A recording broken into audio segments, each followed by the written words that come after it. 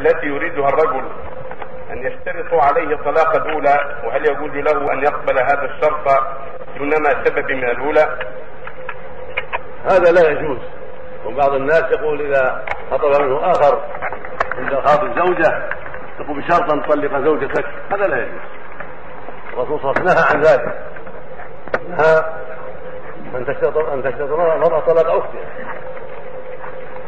الحاصل أنه لا يجوز للمخطوب منهم أن يشترطوا على الخاطب أن يطلق زوجته الحالية بل هذا من ظلمهم وعدوانهم فليس لهم هذا الشرط. وليس له ولا يلزمه الوفاء بهذا الشرط بل شرط منكر. فيخبرهم أن هذا لا يجوز وأن هذا الرسول نهى عن الشرط عن هذا الشرط فلا يليق منكم ذلك. فإن صمموا وشرطوا لهم شرطهم باطل. كما قال النبي صلى الله عليه وسلم في قصة البريرة.